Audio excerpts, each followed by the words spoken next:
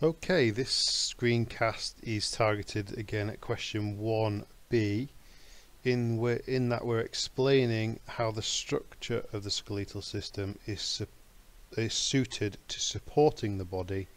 And usually we kind of think uh, we're going to explain how how the skeleton supports the body through sort of physical activity. And obviously you can see my mini me my Bitmoji uh, going through some strenuous activity.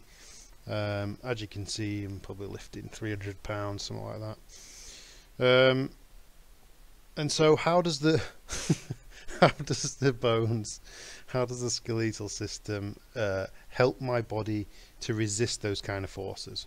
Well, first of all, like we did in in the in the last screencast, you need to identify what type of bone uh, and give a few examples. And you may already be thinking the type of bone that helps support my body uh, are long bones. Long bones. So long bones are really mainly involved in the support of our body.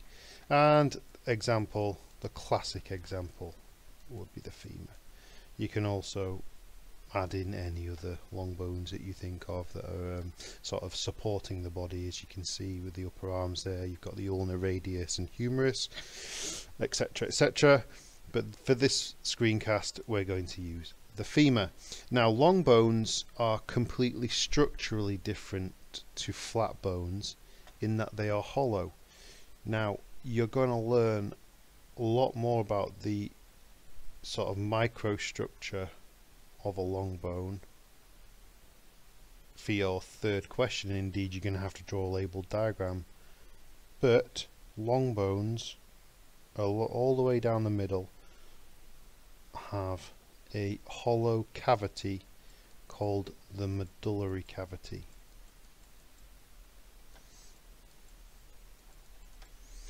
And in that they are described as hollow so how does that help?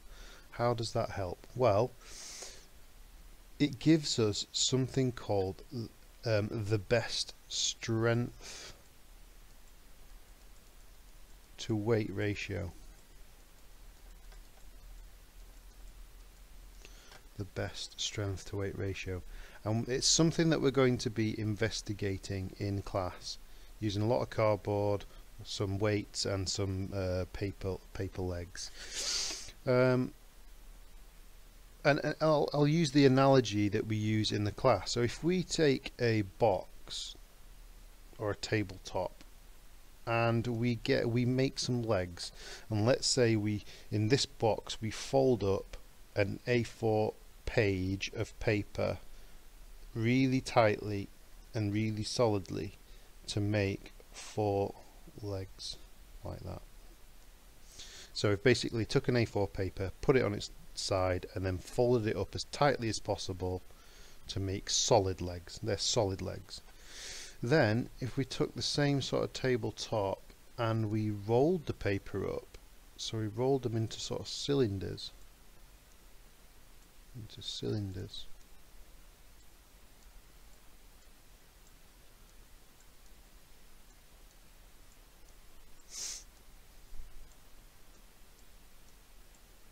and we started adding weights to these tables. Then what we would see is that this structure here would allow us to to hold far more weight than this structure. So what that means is for the same weight, i.e. for the same amount of material to make the legs. So we've used four A4 pieces of paper to make each of the legs. And all we've done is folded this one up as tightly as possible to make it as solid as possible. And we've made this leg or these legs here hollow so we've made them like into a cylinder but we've only used the same amount of material we would expect to get I don't know we've had different uh, results in the sort of class uh, experiments in this, but you know, you're looking at 10 to 15 times the strength of this one, of the solid legs. So what the strength to weight ratio term means is for the same amount of material we get a much better strength back. We're able to resist a lot more force. Okay. However, if we filled these hollow legs, so if we made the same table again and we made the same size hollow legs, but this time we filled the hollow legs in to be solid, that's bad drawing, but you get the impression, then this one would give us more strength. However, if we were going to fill these legs with paper, we might need, I don't know, 30 sheets of A4 paper to make these legs solid.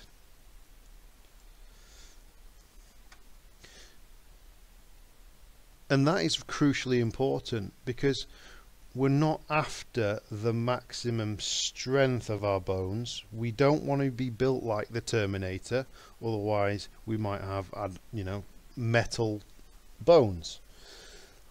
The problem with that is that it would weigh a heck of a lot. We'd need a lot more material to make those bones. We'd therefore be very heavy. We would need a lot more weight in our bones. And that's why the strength to weight ratio is really important for our bones it's about producing the maximum strength for the minimum amount of weight. Why is that important? Well, we don't want to be wasting energy carting heavy bones around. Although they would be super strong, we would need to produce an absolute ton of energy and that's just not efficient for an organism such as ours. We need to be able to produce the maximum strength with the minimum weight which allows us to move efficiently and effectively. So it gives us the maximum strength for the minimum weight or for the minimum amount of bone material and that is why your bones are hollow and that is why it gives us the best strength to support our body. Okay, hopefully that makes sense to you. Now, if we um, take uh, a bone such a long bone such as this, and we let's just draw another one. So here's a long bone, and we press down on it, so we compress it, which is what's happening in my legs right there. It's been pressed down. The the long bone is being pressed. Now, if this was a stick and we pressed it down, where is it most likely to snap? Well, if you press down on a stick into the floor you would probably end up with something like this and it's snapping in the middle now if you've seen my structure of the uh, long bone video or screencast or you've been in the lesson then you'll know that this bit the shaft of the bone is called the diaphysis. And it's the diaphysis that is the weakest point in a long bone. Is the weakest point in a long bone. So it makes sense then that the body is able to reinforce this area to stop it from snapping. And that's exactly what the cells of the bone can do if it's stimulated through exercise to make it stronger at that point. and for this we talk about the cells within our bone. And the two types of cell that we're going to talk about are osteo osteo meaning bone. So whenever you see osteo it means bone osteoblasts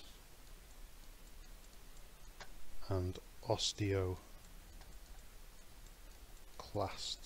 now I'm not going to go fully into the cells this time it is available. There are osteogenic cells and osteocytes as well. But osteoblasts, simply put, they are the builders. So if you try remember, B for builders. And what will happen is that if you start exercising on your bone, then a stimulus occurs which triggers these osteoblasts somehow, and you can ask me to explain it in your own time if you wish. The osteoblasts start reinforcing this bone this compact bone around the diaphysis. So you may see, I don't know, so if this is a cross section of that, so if we took a cross section of that, and that was the medullary cavity in the inside, then rather than seeing, I don't know, this kind of thickness of compact bone in a trained person, we might see something like this. So you can see the thickness of the compact bone is far higher in somebody that's trained than untrained. So the amount of physical activity that you do triggers these osteoblasts to reinforce bones at certain points, and in particular diaphysis. Um, and we call that ability to to adapt, the ability to adapt to stimulus in terms of the strength of the bone is called Wolff's Law.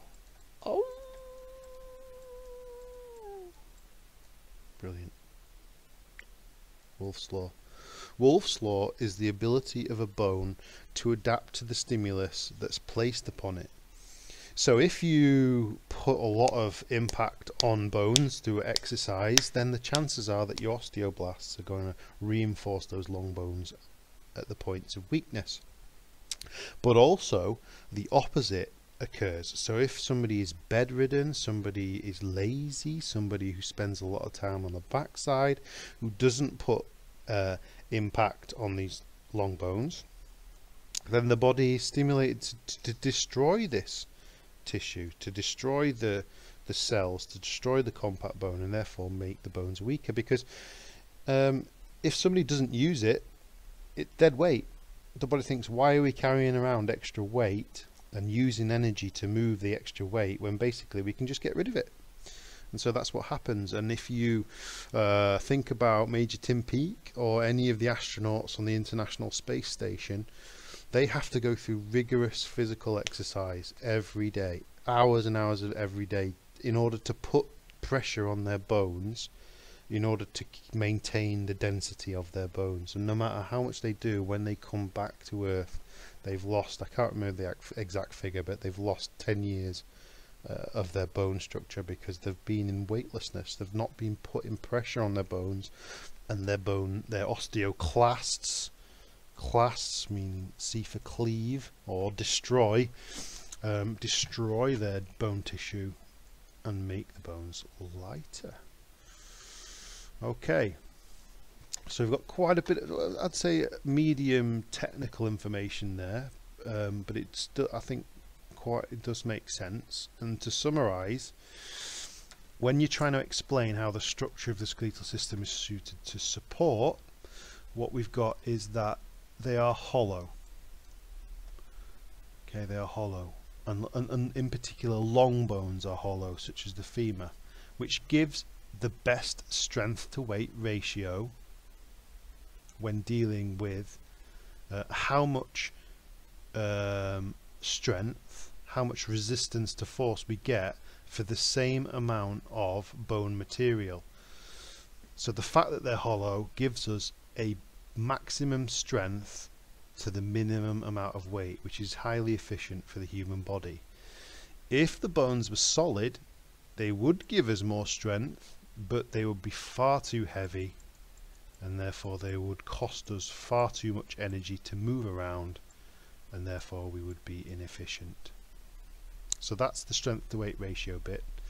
The second bit is the fact that bones are able to respond or long bones are able to respond to stimulus that's placed on them which is called Wolff's law and Wolff's law basically means that if a bone is stimulated, I don't know, through exercise, for example, then your bones, oh, sorry, your cells of the bone i.e. osteoblasts, are able to build bone to reinforce long bones at specific points, such as trained and untrained athletes.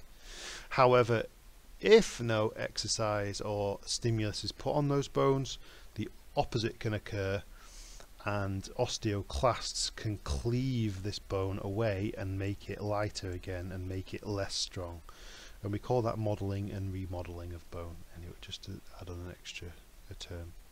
So hopefully uh, we're more about the understanding at this point and hopefully you can go away and make sense of why bones are hollow in relation to strength to weight ratio.